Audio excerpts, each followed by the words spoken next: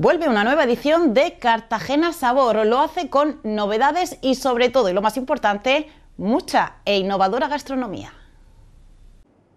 Desde el miércoles y hasta el domingo la explanada del puerto acogerá la feria Cartagena Sabor.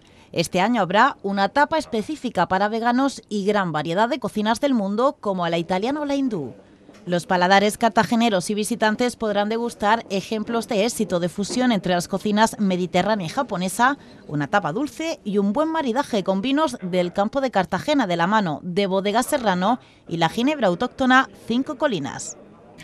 Entre las novedades de esta edición destacan las mejoras en la programación de actividades paralelas al evento, con conciertos de gran calidad y variedad de estilos musicales el refuerzo de los talleres infantiles con los que se busca adaptar Cartagena Sabor a las necesidades del turismo familiar.